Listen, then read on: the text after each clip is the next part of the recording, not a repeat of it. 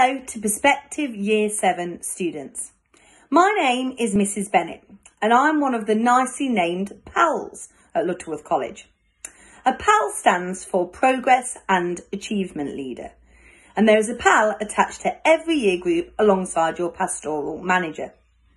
The role of the PAL is to support you in your academic achievement.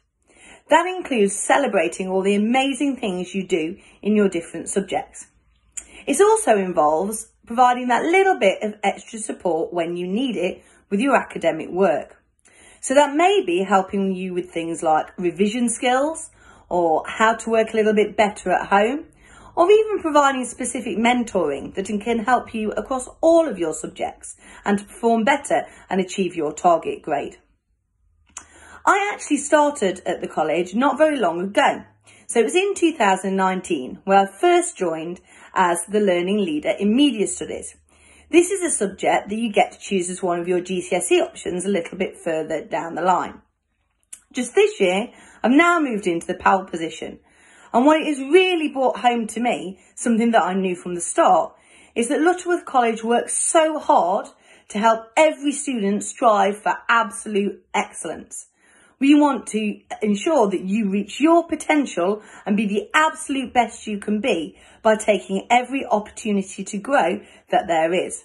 And hopefully you will find that your PAL for your year group is able to help you in this. Now, an interesting fact about me.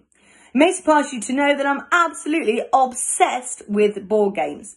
In my conservatory, I have over 300. The most expensive of them is based on the um, Witcher series of games and uh, novels and TV series. And it costs £266, which is a tremendous amount of money on a teacher's wage. It's so precious to me that I haven't even played it yet. Um, we haven't even taken the shrink wrap off. But it may be that by the time we meet, I've played it and I've beaten the husband. Okay, folks, you take care and hopefully your pals will see you soon.